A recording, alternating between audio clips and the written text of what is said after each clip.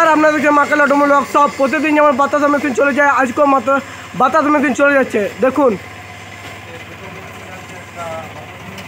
এই দেখুন, চলে যাচ্ছে বাতাসা মেশিন ব্যান্ডেল। দেখুন, চলে যাচ্ছে ব্যান্ডেল। বাতাস মেশিন চলে গেল, ব্যান্ডেল। এই জন্য প্রত্যেকটা কাস্টমারকে বলি, যারা যারা মেশিন নিতে ইচ্ছুক, বাতাসা মেশিন নিতে চান, তারা কারখানায় আসুন, কারখানায় ভিজিট করুন, তারপরে বাতাসা মেশিনের ট্রেনিং টেস্টিং হওয়ার পরে বাতাসা মেশিন নেবেন।